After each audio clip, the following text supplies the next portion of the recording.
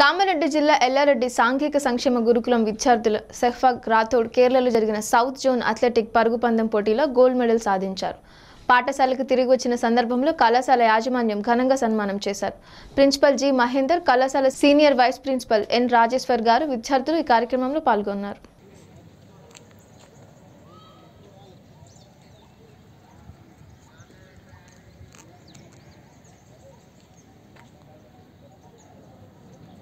¿Qué es el nombre?